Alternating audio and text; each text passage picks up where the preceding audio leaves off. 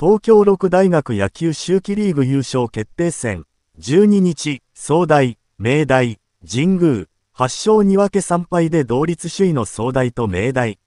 明大が勝てば3期ぶり44度目、総大が勝てば2期連続48度目の優勝が決まる大一番。総大は2回に先頭の4番、インデが108キロの変化球をうまく右前に運び出塁すると、続く5番、前田がギダの構えからバスターで左前打でつなぐ。6番大沢もギダの構えからバスターで遠前にゴロを転がし、1死2三塁の場面で7番、中村寛春内野手、4年、筑陽学園高、が137キロの直球を左前に弾き返し、先制の敵地だ。